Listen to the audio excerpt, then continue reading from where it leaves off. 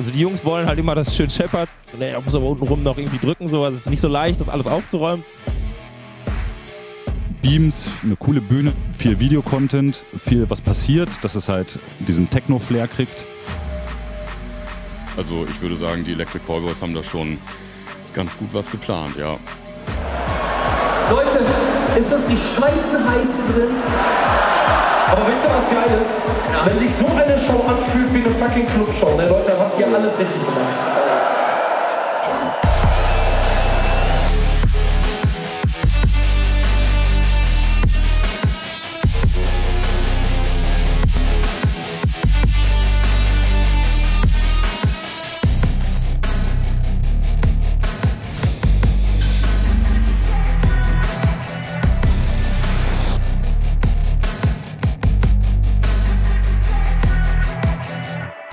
Mein Name ist Patrick Unger und äh, ich bin der Lichtdesigner und Setdesigner für Electric Callboy. Äh, dieses Jahr auch erstmalig in den großen Arenen, wo wir auch alles selber mitbringen dürfen. Ich bin nicht von Anfang an Lichtdesigner, ich kam irgendwann dazu, aber mittlerweile sind es über sechs Jahre, die wir zusammen gehören und zusammen durch Europa fahren. Ich sag mal, ich habe als Lichttechniker angefangen und mittlerweile kann ich dann auch vielleicht Lichtdesigner zu mir sagen, dass man äh, ja, einfach mit der Band gewachsen ist, an den Aufgaben gewachsen ist ähm, ja, und mit der Band groß geworden ist. Also angefangen hat es mit vier Lampen in einem Bustrailer und mittlerweile stehen wir hier mit sechs Trucks, einer eigenen LED-Wand, einem Medienserver und allem drum und dran. Da ist es zum einen natürlich, dieses Mitwachsen mit der Band hat mir da schon viele Fragen im Vorfeld beantwortet. Zum anderen haben wir uns jetzt ein Produktionsleiterteam eingekauft von MB Media, die da natürlich auch gerade bei äh, so Traversentrimmenhöhen und sowas mir da auch immer mal wieder auf die Finger geguckt haben und gesagt haben, Patrick, das geht so nicht, da müssen wir ein bisschen äh, anders gucken, weil für mich war der Raum immer unendlich, äh, aber auch in so einer Arena gibt es natürlich ein Ende irgendwann des Raums. ja, tatsächlich viel Learning by Doing und die letzten, sag ich mal, i-Tüpfelchen, die haben jetzt unsere Produktionsleiter mir reingeschafft. Aber tatsächlich war das alles so ein Sprung ins kalte Wasser, der zum Glück geglückt ist. Die Arenen machen natürlich mega Bock, aber ich muss sagen, dass mir tatsächlich die Clubshows mehr Bock machen meistens. Jetzt nicht so die kleinen Clubs, aber sag ich mal alles so bis 3.000, 4.000 Leute. So. Das ist so mein Favorite tatsächlich. Weil da kriegt man den Raum immer noch ganz gut gemanagt irgendwie so und man ist ein bisschen näher an der Band dran. Aber es macht auch Bock. Also alleine ist so, dass, dass man mit dem eigenen System fährt und so ist halt voll geil. Ich bin Dominik Sabolovic. Äh, man kennt mich aber eigentlich nur unter Bollo. das ist mein Spitzname quasi hier. Äh, und ich mache äh, FOH für Electric Cowboy. Ich bin da tatsächlich so ein bisschen reingerutscht und war eigentlich nie so ein Riesenfan so von Schreimetal quasi, sondern ich komme mehr so aus dem Rock, Classic Rock, das ist mehr so meine Mucke. Nee, ich gehe da jetzt auch gar nicht anders ran irgendwie, weil das halt eine Techno Metal-Band ist. So. Ich bin da mehr, ich bin da so mit groß geworden, irgendwie habe immer Metal gemischt und äh, da war jetzt nie irgendwie, dass ich mir da irgendjemanden krass als Vorbild genommen habe. So. Was ich immer hatte, war früher, wenn man auf Support-Touren war, irgendwie mal bei irgendjemandem zugehört hat, mal über die Schulter gucken konnte, so, ne? Also weil ich immer sehr nach Gehör gemischt habe früher, ne? Und mich nie so an die technische Seite gebunden habe. Ich finde es auch immer cool, wenn Leute irgendwie, gerade auf so Support-Touren oder so, wenn man mal was fragen kann irgendwie und ganz normal mit denen quatschen kann, nicht dieses hier, ich ne, ich, äh, auf keinen Fall gucken, was ich hier mache, so, das war jetzt nie so mein, mein Ding.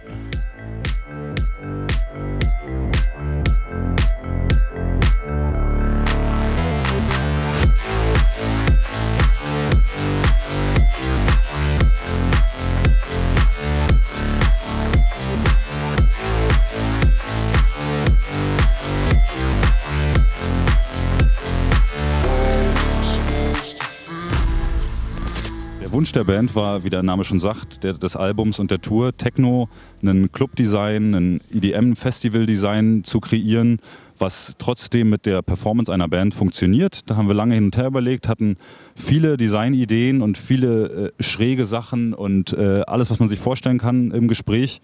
Und am Ende haben wir uns dann nochmal aufs Wesentliche konzentriert und überlegt, was wollen wir eigentlich? Wir wollen eine coole Bühne, die aufgeht mit viel Videocontent, viel Beams, viel was passiert, dass es halt diesen Techno-Flair kriegt. Im Grunde genommen ist dieses Stufendesign genau aus diesem Grund entstanden. Das haben wir sowohl am Boden als auch in der Decke umgesetzt, dass es sozusagen drei Ebenen gibt. Die ganz unterste Bühne-Ebene, dann noch eine zweite Ebene eine dritte Ebene, was auch sehr gut für die Band funktioniert.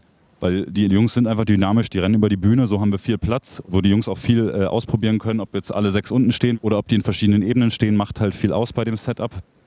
Wir haben ja die große Herausforderung, dass wir in solchen Arenen spielen, wo wir natürlich Deckenlicht, PA, alles mitbringen, aber auch gleichzeitig durch Europa reisen und in kleinen bis mittelgroßen oder großen Clubs spielen. Da war auch ein langer Denkzyklus erforderlich, um da hinzukommen, weil wir haben erst überlegt, designen wir jetzt auf den Club, weil das sind deutlich mehr Shows, designen wir auf die Arena. Und haben uns erstmal komplett ins Arena-Design gestürzt, haben das so fertig gemacht und haben dann überlegt, welche Elemente davon können wir in Clubs umsetzen. Das ist natürlich äh, so ein dreistufiges Design, ist natürlich nicht tragbar für einen Club. So viel, also so für Bühnenplatz haben wir meistens gar nicht. Deswegen haben wir uns äh, irgendwann entschieden, das äh, Floor-Set eigentlich genau so, wie es äh, hier steht, bis auf dass es halt nicht ganz so viele Lampen sind in, in den Clubs, äh, mitzu mitzunehmen und eine der Stufen, die jetzt tatsächlich auch so, wie sie hier stehen, genauso bei uns in Truck wandern und mit uns in die Clubs fahren. Ja, das ist natürlich ein großer Aufwand für dieses Thema jeden Tag. Alle Lampen werden in beiden Systemen benutzt. Also wenn wir im Club spielen, dann haben wir dieselben Lampen mit anderen Adressen dabei und wenn wir in der Arena spielen, dann muss es wieder umadressiert werden. Es ist doch immer ein bisschen aufwendiger und auch gerade frontlichttechnisch ist es in Clubs äh, auch immer der Horror einfach. Äh, aber mittlerweile haben wir uns da auch mit den, äh, gerade in Sachen Frontlicht, mit den Gassenlampen, äh, die wir auch im Club mit haben, so eingegroovt, dass wir eigentlich äh, alles, was wir brauchen, selber dabei haben und das Hauslicht, ob das jetzt da ist oder nicht, nur ein Add-on ist. Und so fahren wir tatsächlich ganz gut.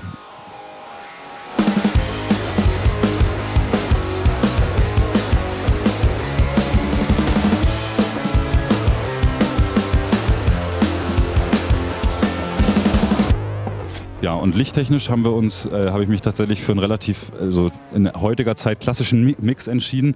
Zum einen aus dem Megapointe, was, sag ich mal, Spot-Beam-technisch, wenn es nicht gerade um Frontlicht geht, eigentlich meine Lieblingslampe zurzeit ist. Da braucht man, glaube ich, nicht viel drüber erzählen. Die funktioniert einfach in allen Arten, ob als Beam oder als Spot. Klar gibt es da kleine Abstriche, die man gegenüber anderen Lampen machen muss. Auch im Gobo kommt vielleicht nicht mehr ganz so viel raus wie bei einem wie bei einer anderen Lampe. Aber es reicht völlig für uns, plus dass wir halt diese hohe Flexibilität haben, ohne drei Lampentypen im Dach. Wir haben halt einen Typ. Das ist der Megapointe, dann hängen da noch vier BMFL als Frontlichtunterstützung, äh, weil dafür die Megapointe mir dann doch nicht zu weit aufmachen. Aber im Grunde genommen besteht das ganze Set aus dem Megapointe und den JDC One, die für uns so das Strobo und für mich auch der Washer-Ersatz waren. Klar, wir nehmen die LED-Wände auch viel farbig und haben halt auch schon einen guten Bühnenwash. Aber bevor man sich nur für ein klassisches weißes Strobo entscheidet, tun die Pixel und die Farbigkeit dann doch ganz gut. Der Megapoint und das JDC, damit, äh, das ist, sage ich mal, das Showlicht. Dann habe ich, wie, wie, erwähnt, noch vier BMFL in der Frontrast drin, die einfach so ein bisschen Grundle Grundhelligkeit auf die Bühne kriegen. Plus, womit ich sehr gut klarkomme und auch sehr zufrieden bin, das äh, Robo-Follow-Spot-System. Da haben wir zwei Lampen mit drin, die beide direkt eine Kamera dran haben. Die machen auch hauptsächlich unsere beiden Sänger. Und für mich funktioniert das hervorragend. Ich brauche mit keinen Follow-Fahrern ewig kommunizieren. Die kriegen dann ein Bild dran geklebt. Den Rest kann ich von hier steuern. Ich mache alles außer den Pan-Tilt der Lampen von hier dass ich äh, damit einfach in allen Szenen immer genau das erzeugen kann, was ich will. Ich habe auch keinen langen Schuss durch die ganze Halle, wo dann irgendwie äh, ein riesen Beam von dem Follow durch die ganze Halle geht sondern die hängen beide in der Frontras, vom Winkel relativ steil, was aber trotzdem, da wir noch Florlicht haben, ganz gut funktioniert. Das sind unsere Quantum Washer, die wir links und rechts in den Gassen immer stehen haben. Und auch nochmal zwei vorne auf dem Laufsteg, um genau den Winkel unserer Follows auszugleichen. Und als letzten Typ wollte ich Vorleitblinder äh, im Set haben und dann gab es vorher mit TDA, die die technische Dienstleistung für uns übernehmen, gab es äh, ein großes Hin und Her, weil mein Wunsch war es, nicht jeden Tag Brenner tauschen zu müssen und die äh, LX1 und LX2 irgendwie jeden Tag dreimal runterfahren zu müssen und nach der Vorband gehen sowieso keine Brenner mehr, sondern ich wollte halt irgendwas LED-mäßiges, dass wir halt, wenn die Lampen hängen, dass sie auch einfach so funktionieren, wie sie tun. Daher sind wir auf die Rox Blinder gegangen, auch da auch nur auf die Warmweiß-Variante, also die Full Color. Ich brauche keinen Blinder, der rot leuchten kann, dafür habe ich genug JDCs im Dach. Also wir haben die auch im Clubset, deswegen kann ich den Vergleich auch so anstellen. Da hängen auch manchmal konventionelle Blinder und die kommen äh, dem Blinder-Look halt unglaublich nah. Dazu kommt halt, dass sie unglaublich ausfallsicher sind und da kommt halt einfach ein Bums raus, der keine Abstriche machen muss durch fehlende Brenner, durch alte Brenner, sondern wir haben da immer genügend Helligkeit, um das ganze Publikum auszuleuchten.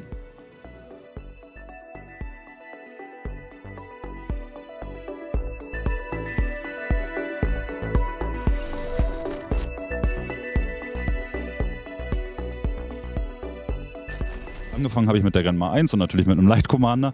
Ähm, aber irgendwann kam dann die Grandma 2, äh, auch von der, von der Firma damals, wo ich gelernt habe, äh, einfach ins Spiel. Da bin ich drauf groß geworden. Mittlerweile habe ich da meinen Workflow und äh, komme damit einfach super klar. Ich habe mich tatsächlich auch schon mal so ein bisschen mit Chemsys ab und zu beschäftigt und äh, bin da eigentlich auch relativ fit. Aber ähm, am Ende, für mich ist das nur ein Werkzeug zu dem, was, also hier könnte jedes Pult stehen von mir aus. Ich habe halt einfach auf dem Pult meinen Workflow optimiert. Hier funktioniert für mich alles, hiermit komme ich klar, hier bin ich schnell und damit entscheidet sich für mich. Plus, dass wir die halt in jedem Land, egal auch wenn wir in Australien spielen, kriegen wir dann eine Grandma zugemietet. Da brauche ich kein anderes Pult mehr.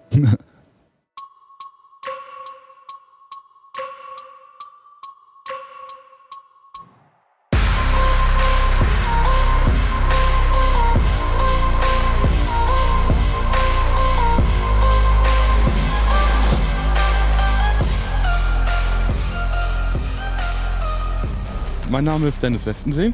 Ähm, ich bin hier der verantwortliche Pyrotechniker bei der äh, Tour von den Electric Callboys, bei der Arena Tour. Ähm, die fahren ja noch viele weitere kleine Clubtermine. Da dürfen wir leider keine Pyrotechnik schießen. Wir haben neben Pyro auch vier Stadium Shots dabei. Dann haben wir sechs äh, Waveflamer auf der Bühnenvorderkante stehen und acht Pyro-Positionen. Die haben in Summe ungefähr 170 Effekte drauf für die gesamte Show dann aufgeteilt, ja. Ich würde sagen, für anderthalb Stunden Show ist das schon eine ganz ordentliche Packung. Also wir machen sonst auch viel die EDM-Festivals. Ähm, da hat man natürlich wesentlich mehr auf so einer Scherenbühne, ähm, aber das geht ja auch länger als anderthalb Stunden dann. Also ich würde sagen, die Electric Callboys haben da schon ganz gut was geplant, ja.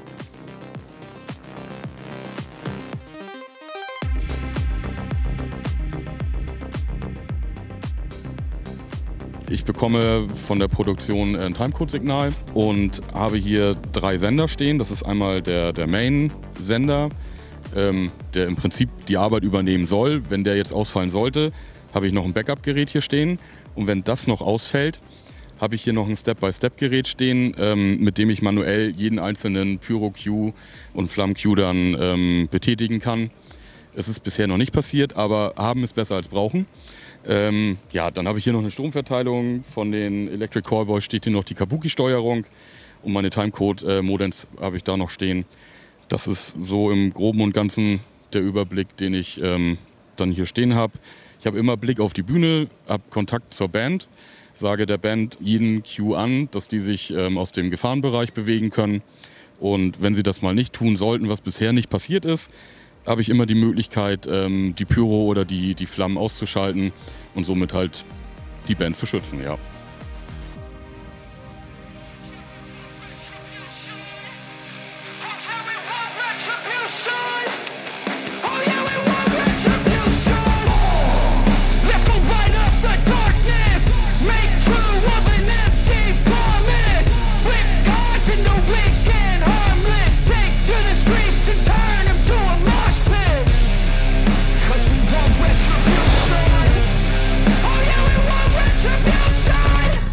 Jungs sind schon sehr spezifisch tatsächlich, weil äh, wirklich, wir haben zwei Leute in der Band. Der Daniel Harnes, der Gitarrist, ist halt auch der Produzent von denen ne? und die produzieren halt alles selber. Äh, plus Pascal ist auch Soundmann, etc. Also der kann auch alles, ist auch Videotechniker. Die sind alle sehr technisch versiert so. Das Coole ist so, weil ich schon so lange mit den Jungs unterwegs bin, ich integriere mich halt komplett in die Soundfindung mit ein. So, ne? Wir profilen zusammen Gitarren-Amps etc., weil ich immer ein Fan davon bin, einfach das Problem direkt vorm Mikrofon zu lösen, anstatt nachher hier mit zigtausend Plugins irgendwie rumzuarbeiten. So, ne? Und das macht halt auch Bock dann, sich da so zu integrieren, dass man halt vernünftig vernünftige Signale bekommt und vernünftig drüber spricht vor allem halt. Ne? Da, von den Jungs ist auch keiner so, dass er sagt so, ich will aber den und den Gitarrensound haben, sondern es ist immer in Absprache, selbst Beckenauswahl und so ist alles in Absprache, immer untereinander so, ne? was ist cool, was passt so. Also es ist ein bisschen, es ist nicht so easy, die Jungs zu mischen, weil es halt sehr viel Sample, sehr Sample-lastig ist halt, ne, wegen den ganzen Techno-Beats etc. Und dann so die Gitarren dazwischen noch irgendwo zu wursteln, ist alles nicht so easy, ne? Aber ja, also die Jungs wollen halt immer das schön scheppert so. Ne? Das ist immer so, dass wenn die Jungs mal hier nach vorne kommen und sagen so, ne, da muss aber unten rum noch irgendwie drücken, so. Also es ist nicht so leicht, das alles aufzuräumen, so unten rum. Aber ja, das ist immer so die, die Gratwanderung, sag ich mal, ne? Dass man versucht, alles irgendwie, dass, dass es alles untenrum schiebt, aber trotzdem irgendwie einigermaßen aufgeräumt trotzdem noch irgendwie klingt so.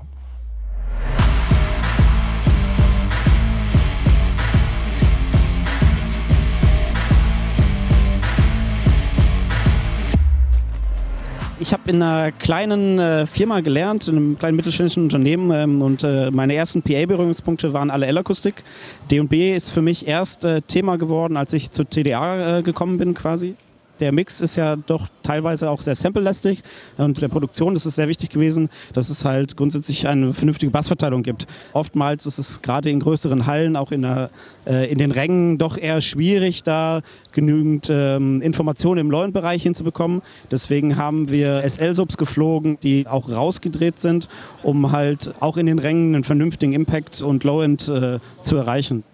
Wir haben äh, am Boden dazu noch ein Superray aus SL-Subs, 20 Stück. Das sind 10 Zweierstapel als Zahnlücke, um halt auch im Innenbereich und am Boden halt auch nochmal eine sehr gleichmäßige und homogene Verteilung zu erreichen. Der Main-Hang ist GSL, Side- und Delay-Hangs sind äh, KSL und Y Frontfilz. Wenn ich so Popkram mache oder so, stehe ich auch voll auf L-Akustik. Aber ich finde gerade für so Metal-Mucke ist D&B einfach ein bisschen knackiger so. Und das war genau das System, was ich haben wollte.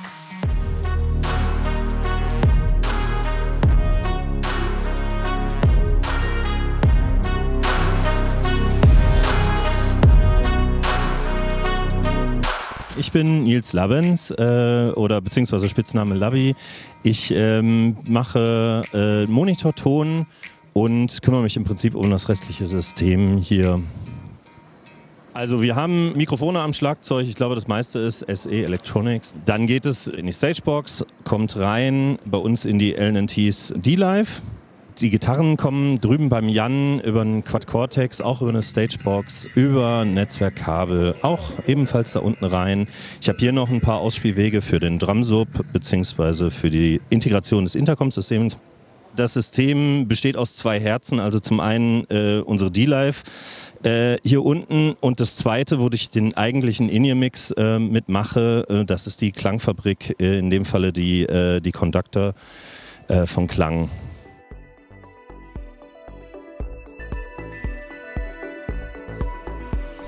Der große Vorteil, ich kann einen 3D-In-Ear-Mix machen. Also ich kann jedes Instrument im Raum platzieren und kann sagen, okay, die Gitarre soll jetzt hier sein oder sie soll hier sein oder da sein. Und es, äh, man kriegt damit sehr schnell und sehr fein einen sauberen, transparenten, differenzierten In-Ear-Mix hin. Von den Features jetzt dieser Conductor, die hat 128 Input-Kanäle auf 16 Stereo-Mixe. Wir haben drei verschiedene optionale ähm, Slot-In-Karten hinten drin. Also wir haben Madi drin, wir haben Dante drin und wir spielen direkt analog äh, dann die Signale, also die fertigen Mixe raus auf die In-Ear-Funkstrecken. Ähm, also hier sieht man jetzt zum Beispiel äh, die Klangfabrik äh, und den Mix, äh, aktuell hier gerade von äh, Kevin. Ich habe so, ich benutze es auch so, also wenn ich halt einen anderen Mix auswähle, also einen anderen Musiker, dann habe ich den auch automatisch auf dem äh, In-Ear.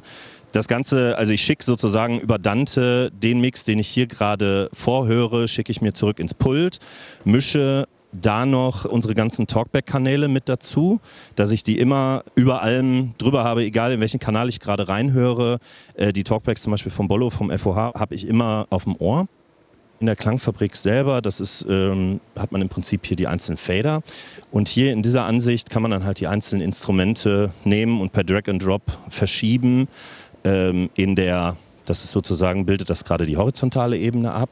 Und wenn ich wechsle, äh, kann ich hier jetzt zum Beispiel auch sehen, ähm, wie wir ja, andere äh, Mikrofone in der vertikalen positioniert haben das ist im Prinzip das. Also die sind, äh, die sind da so in ihrer eigenen Bubble und die Mixe sind komplett unterschiedlich. Also äh, David hat einen schönen, relativ trockenen Schlagzeugmix mit ein bisschen Gitarre und äh, das war es dann auch schon ungefähr. Eigentlich spielt er nur zum Playback.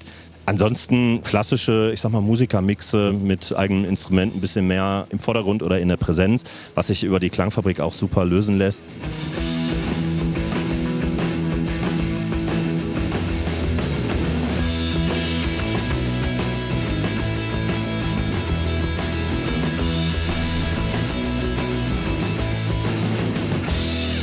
Ich fahre jetzt seit fünf, sechs Jahren, fünf Jahren glaube ich, äh, mit D-Live. Ich war super happy damit. Ich habe mir damals selber irgendwann eine gekauft. Äh, das ist auch immer noch die, mit der ich fahre tatsächlich. Und habe dann irgendwann mal abgegradet mit Waves, ne, dass ich noch Waves-Plugins integrieren kann. Ich habe noch zwei Distressor für die Vocals halt. Den Max WCL, den nutze ich gerade gar nicht mehr, weil ich das im Ausland immer alles mit dem, äh, dem Racetrack quasi alles nachbilde so. Ja, aber das ist so das Setup. Wir sind tatsächlich damals dann irgendwann auf D-Live umgestiegen, weil wir unser Flugsetup relativ klein halten wollten. Haben dann die DM0 Stagebox damals geholt mit allen Karten. Ja, das geht halt alles digital jetzt mittlerweile rein. Das ist halt super entspannt zum Fliegen alles so, ne? Normalerweise, wenn wir dann im Ausland sind, nehme ich immer die kleine Konsole vom Lobby mit und er macht dann alles über ein Surface quasi. Äh, weil es halt super easy ist, im Flugzeug mitzunehmen. Ne? In so einem kleinen Scott Dixon Case kann man hinter sich herrollen. Das ist halt super. Ich habe hier links halt meine ganzen Inputs quasi. Ne? Also hier einmal komplett ein Layer voll Schlagzeug. Das passt halt ungefähr genau. Äh, dann haben wir hier Bass, Gitarren. Wir haben jetzt noch eine Akustikgitarre für ein paar Songs auf der Tour dabei. Dann die Samples, die haben wir uns ein bisschen aufgedröselt. Da sind kleinere Ad-Gitarren mal ab und zu dabei oder mal ein paar Gang-Shouts etc. und so. Ne? Dann haben wir äh, vier Vocals. Nico Kevin äh, und die beiden Gitarristen machen ab und zu so ein paar Gang-Shows etc. Genau, da haben wir jetzt noch einen Gast-Vocal auf der Tour dabei, weil wir ab und zu Gäste haben. Heute kommt zum Beispiel der Kalle vorbei. Genau. Äh, dann habe ich hier nochmal die Akustikgitarre für den Akustikblock quasi, weil wir aus dem Piano jetzt noch dabei haben. Und ganz neuen Saxophon tatsächlich für einen Song tatsächlich auch. Äh, weil der Daniel Hahnes auch tatsächlich sehr gut Saxophon spielt. Das war es eigentlich an Inputs schon. Habe ich noch ein paar Atmos, die sind nur für Recording. Ne, wir haben hier mal ein paar Atmos stehen und halt in der Fronttrass welche, weil wir jetzt im Moment jede Show mitschneiden. Und dann habe ich hier noch äh, komplett unsere Talkback-Struktur quasi. Äh, wir haben jetzt mit der ganzen Lichtcrew so ein neues Green Go-System ne, damit die sich alle untereinander hören. Und dann halt Talkback von David oder vom Drumtech, vom Jan, unserem Gitartech, äh, vom Labby. Ich habe noch ein Talkback. Das habe ich hier einfach alles nur, damit ich mir das hier über die Shoutbox irgendwie managen kann halt. Äh, und dann hier rechts habe ich, äh, genau, ein paar DCA-Gruppen halt, ne, Bass, äh, Drums, Bass, Gitarre, Samples, Vocals und äh, den Hall, die verschiedenen Hallsachen habe ich mir auch nochmal hier auf DCAs gepackt. Äh, genau, dann hier die ganzen Hallräume quasi, ne? also für Schlagzeug ein Raum. Eine Snareplate, Bomb ist so ein, ne, im Breakdown mal, dass man mal irgendwie einen fetten Hall nochmal reinschieben kann. Äh, genau, Vocal Hall, Delay. Und dann habe ich noch einen extra Hallraum für die, das Piano und die Akustikgitarre für die, für die Akustiknummer. Tatsächlich, was ich jetzt neu gemacht habe auf der Tour, ist nochmal Kick, Snare, mir einen extra Kanal für gemacht, tatsächlich nochmal als Parallelkompression und für Nico und Kevin auch nochmal für die Vocals. Aber das ist so das Setup. Sind insgesamt irgendwie 43 Inputs oder 42 Inputs, glaube ich. Das ist alles managebar noch auf so einem kleinen Pult. Also ich bin super zufrieden, wirklich. Also die D-Live ist für mich, war damals halt, als ich mir sie selber sozusagen auch noch angeschafft habe, weil ich auch mit anderen Bands unterwegs war, so das günstigste, was man gerade kriegt für die Qualität, sage ich mal. Und ich bin super happy.